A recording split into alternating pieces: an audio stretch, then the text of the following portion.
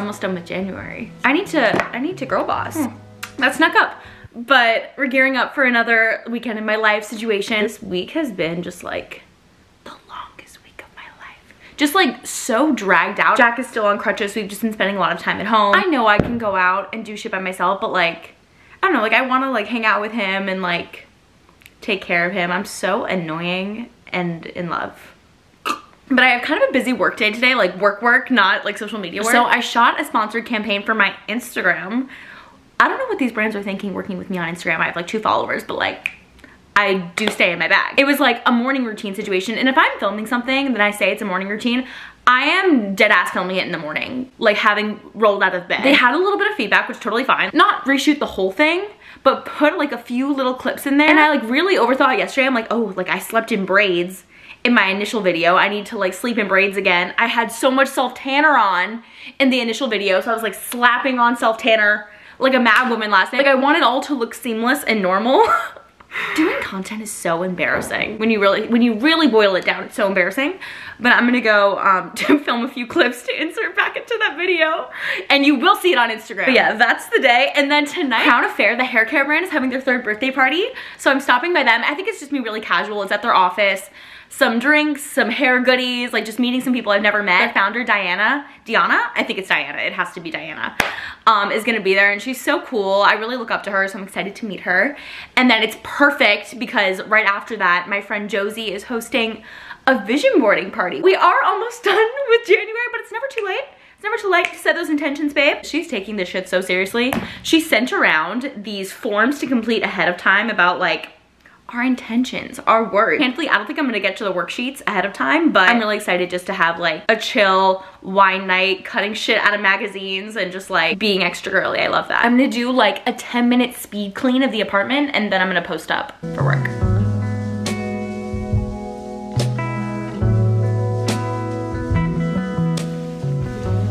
I got a coffee at Devoción this morning. It was good. It didn't change me. Like, I'm not like a fancy coffee girl. I feel like I just like shitty cold brew and creamer. We will be reusing the cup though. I love when you get a coffee cup and you just like use it to fill. Cause I mean, you might as well. And also coffee tastes better out of a to-go cup. La Colombe cold brew is just delicious. And then I have this Nut Pods hazelnut creamer. It's very hazelnutty. It's like, like that fake Starbucks kind of flavor. What is the sweetener in this? Natural flavors.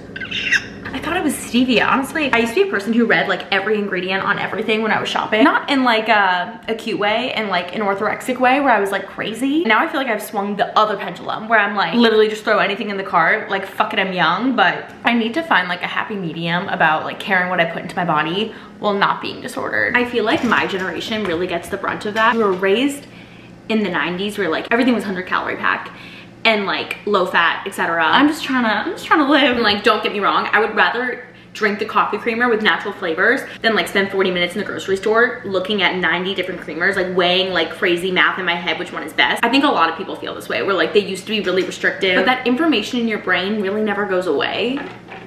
I know I'm not alone.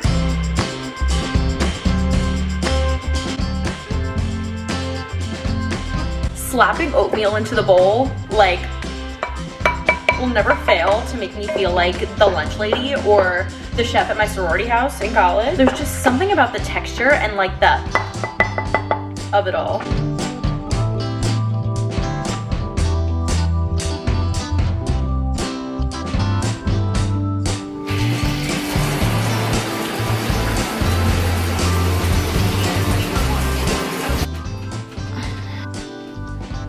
Just showered off that self tanner. It was, it was looking okay, but it was also giving like clementine tangerine or for body self tanner lately. I've been using the Coco and Eve in medium.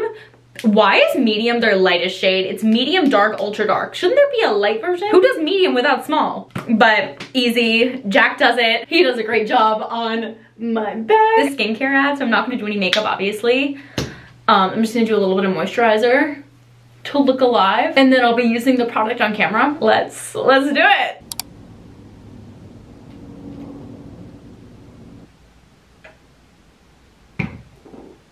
Reshoot done. It really, I really didn't have to re end up reshooting that much. So hopefully they like it and hopefully they approve and you'll see it stay on the gram next week. I think I'm gonna step out and get Josie, the one who's hosting the vision board night, a little hosting gift. I think she'd love that. She's really big on like manifestation, so maybe something like some kind of journal.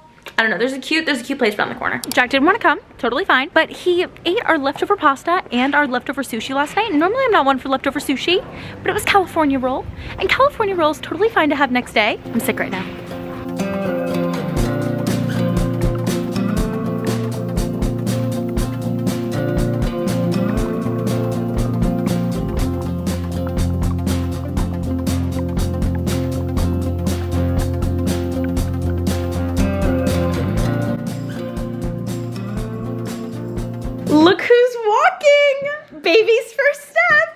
Walking again after his, after the accident.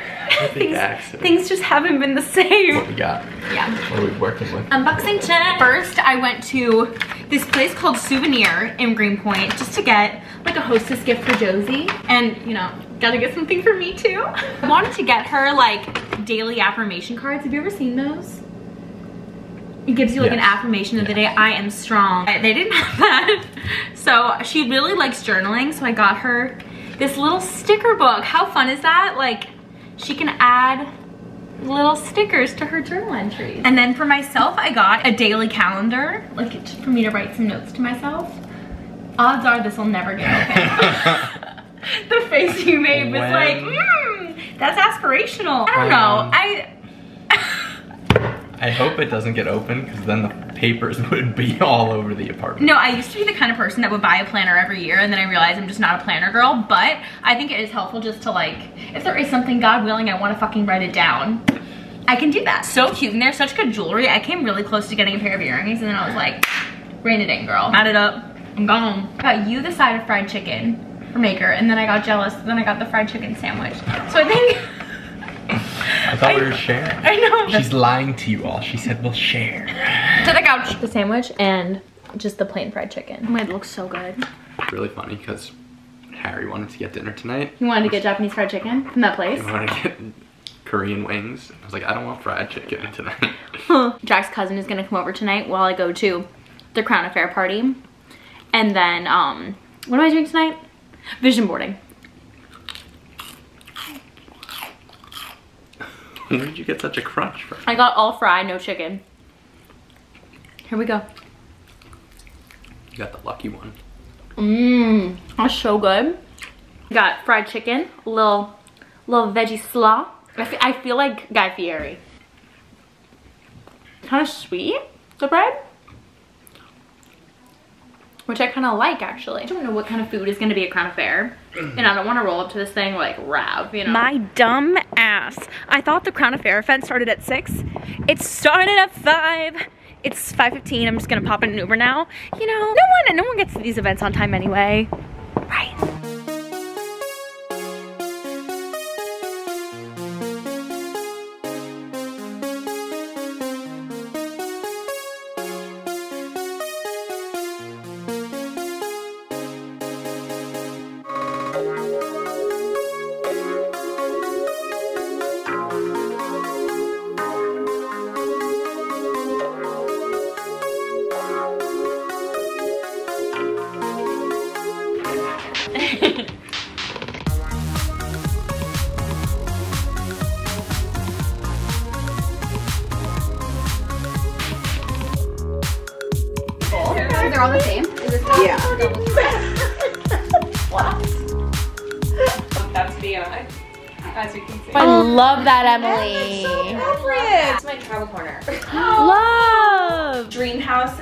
I'm I'm ready to be back in my HGTV home, home decor era. And we're all ready for that. I've been so fucking lazy. Avocados, self-care. I'm graduating, taking the bar this year, but I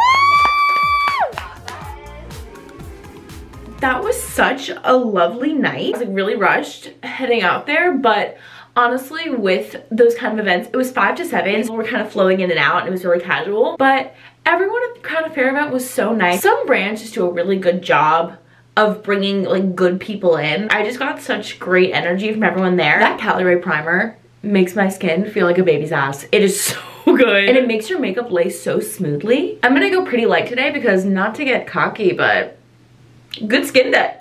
and also after the crown event, I went to Josie's for vision boarding. That was the most wholesome, fun, like crafty thing I've done in so long. I just love doing shit with my hands. And I don't do things with my hands enough these days. Like I'm always typing rather than zhushing. Everyone took it really seriously. I feel like if you're gonna do something like that, everyone really just needs to be all in. And thankfully everyone was. I need to find a place to hang my vision board though. I would want, I would want to hang it in the bathroom. Here, I'll show it to you. I would want to hang it in the bathroom because I feel like this is the place that I spend the most time alone. If you like put like paper things in the bathroom, they get kind of gross. And I'm not gonna frame it. I could frame it, but that'd be so extra. I would love if it could just be like right here. I drank a little wine last night, but like by no means was it a drinking evening.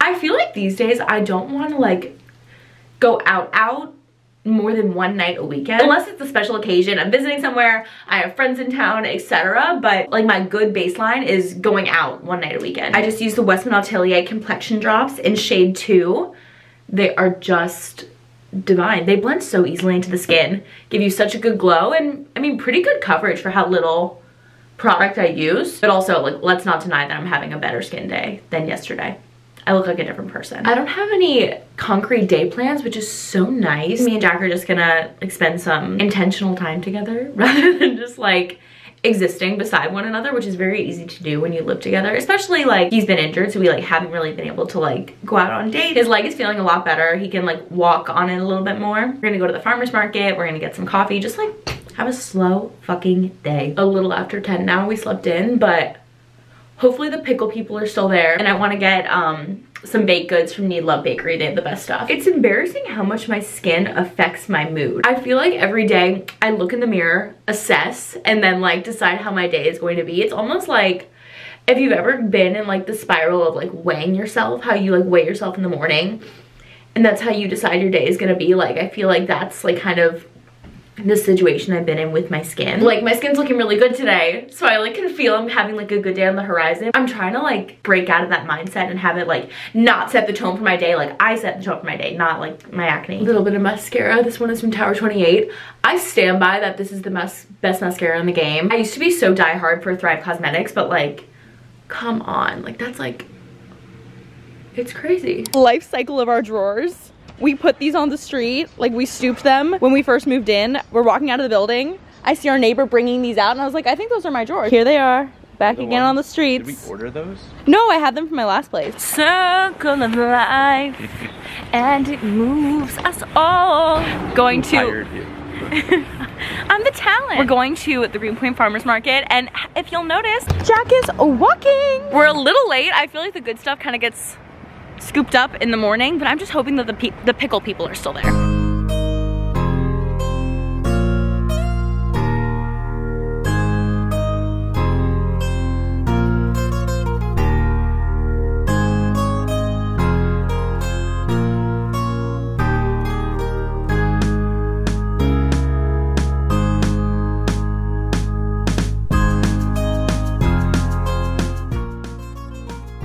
Rice, salt, mustard leaf, chili pepper, sesame.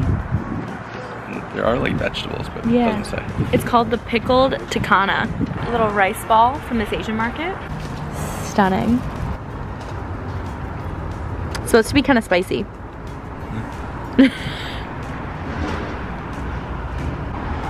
oh, she went right for the seaweed. Mm-hmm. Oh, go, go. mm. Like the perfect bite, you know? Mm-hmm. There's more veggie than I thought there would be. Yeah, because I wasn't starving yet, but I wanted to eat something. It's like perfect.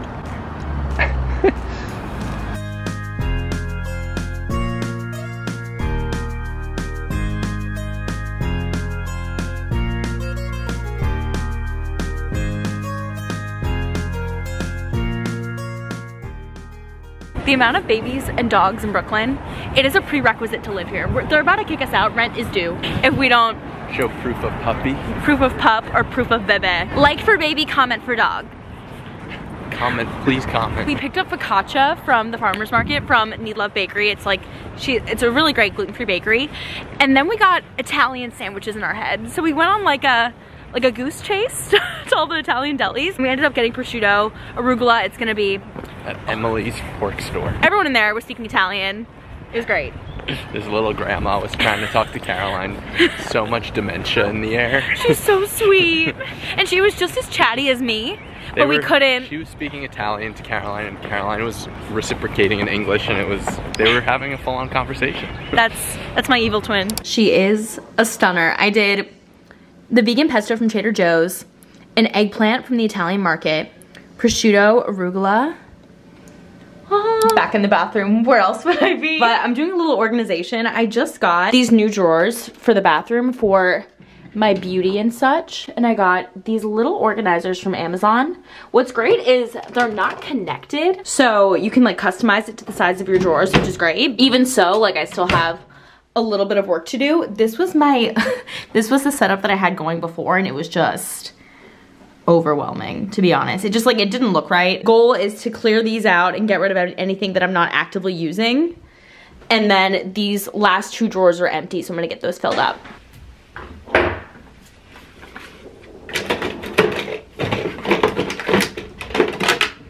Still have a little more work to do, but this crate is clear and that was the main goal. I'm gonna put it outside, guarantee it will be gone by the time I leave the house, like in an hour and a half. It's about 5.15 now and I'm about to touch up my makeup, get changed and meet Stephanie and Heather for a drink. I met them both through TikTok. I actually met Heather for the first time at Crown Affair last night which is so odd to think. It's like, that's the thing about parasocial relationship. Okay, someone like Heather, who I followed for like six months. When you think about the amount of times that I see her a day, I feel like I know her, but I don't know her. But she also knows a lot about me. It's just like, it's funny. So like when you do ultimately meet these people, it doesn't feel like I've never met her. It's just like, I don't know.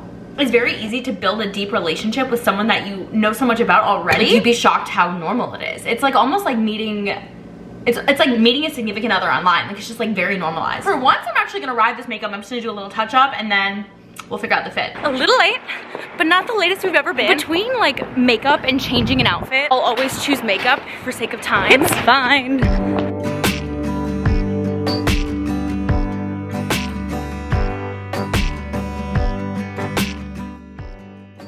That was a work of art. I just like, I feel like I've known them forever and it's so sick. Like obviously I haven't. It's just like some people you, you genuinely click with and it's perfect because I'm in East Village. I'm going to meet uh, my best friend Sophia, who you guys know already, and our friend Lauda. She, okay, I know it's Lauda, but Sophia was calling her Laura on a FaceTime today, so we'll see what it is. I'm meeting them at Maiden Lane, which is just like like a dive bar in East Village that I feel like I always end up there when I'm waiting to go somewhere else. Like I met for drinks and I was I was hoping that we would get a meal, but I just don't know that they have food at Maiden Lane. TBD. Confirm that it's Lauda and Yeah, Sophia was just gaslighting me. I respect your culture and her name is Lauda. It but, is. But there was just like so much that Laura sounded right. Yeah. And we've been friends for a long time. we have. So I feel okay about it. Similar but different that you call me Carrie. Exactly, Yeah. exactly the same. I feel like most Exactly things start as a joke and then they're not a joke anymore. Yeah, and then all of a sudden. it's, but it's funny, like, like okay, context. Yeah. So Lauda just moved here, and we were friends in college. Welcome to New York. And moved here, and I've been introducing her to so many people. Yes. Like all of my friends that she's met before are new people, and I keep introducing her as Laura, No, it's so misinformed. but that's not her name. I I No. do go by Laura at work, but like, Oh, it's- do you? Not, not at night. But like How Laura funny. is beautiful. It is beautiful. Thank you, but like people like it like people physically cannot like say it or read it. It's so and it's So then like Laura. my last Watch out, watch out, watch out, you're gonna Oh, die. You're gonna get hit. Laura! My last job, I went by Lauda, and then people got so confused that they saw Laura, and people just didn't address me. Like, I, I, I did not. Life update. Or If you remember from nine vlogs ago, Sophia's holiday gift. I love it. I feel like you can't even see 'cause it's It's dark. Wait, the vlog went live before I got the gift. Yeah. So, I like I knew it was coming. Yes, and also- I texted her being like, "I'm watching you go to Baggu." Like, Yeah, to buy her holiday gift. Another hard launch is I also hard launched Sophia's relationship online. I just didn't know that it wasn't public. It's not that it wasn't public, but like, you really like got granular with who I was. and, Yeah. like who I, like everything I was doing. I think that no one we know watches But this. there's 300 people out there that are. no, 301 oh, it's 345 these days, Oh, babe. there's 345 Yeah. people that are. We're growing and showing. But Sophia and Laura, Laura, they are. yes. Yeah. Beautiful. No, because I took Italian. Oh. you guys get some food. They they already ate. Hmm, Sick. But we're gonna go find some kind of. I just want a fry. yeah, one. A fry with the beverage. one. So that's what we're in pursuit of. Ciao.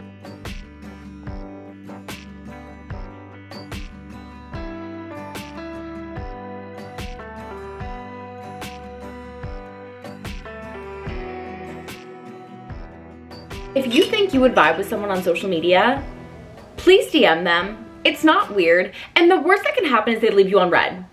God forbid. But like, more often than not, people want to make friends too. So much fun to be with Heather and Steph. We were also with Mandy, um, who's old loser in Brooklyn on TikTok. She is so good, so funny and witty. We went to Bar Lula first, which used to be used to be the Wild Sun in the East Village, and they rebranded. It's really cute in there. It's just like super dim. I love a dim restaurant. I just like give me give me the filter, you know. And then we ended up at Bua which was really good but we were we were outdoor dining there were some people on the street who were clearly just like not in their right mind and you you don't want to be a karen and be like "Mhm," to the manager but at the same time like i don't know like it's scary. Everyone's going through it so like you don't want to be the worst. It's just like it's an awkward position for everyone. And ended the night with sophia and laura which was so nice. We ended up we ended up at this restaurant. What was it called? It's a korean restaurant right next to pineapple club. It was called Nowon. Fire. We went there really late night i have to say they weren't so like accommodating of my allergies but the food was really good. Everyone's fine. No reactions. We're good. I think this is gonna be my longest vlog yet so thank you so much for joining me I love doing this. Thank you so much to everyone who subscribes. If you haven't yet, just throw me a bone, okay? It costs you nothing, and I really appreciate it. Okay, love you guys. Have a good week.